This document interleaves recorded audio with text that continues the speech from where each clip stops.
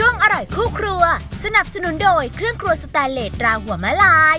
วันนี้เราขอเสนอเมนูหวานๆอย่างวุ้นไข่ เรามาลงมือทำกันเลยค่ะ